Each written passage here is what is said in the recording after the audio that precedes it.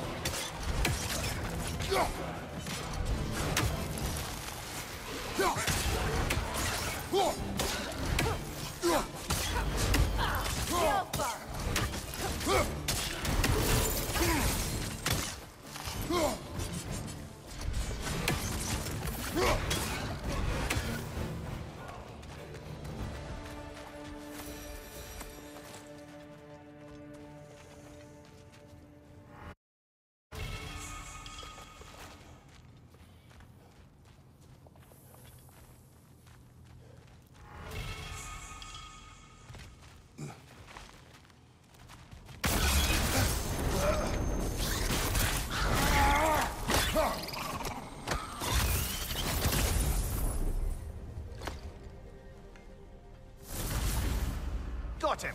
Another one already? Great! Why exactly do you keep popping up, little one?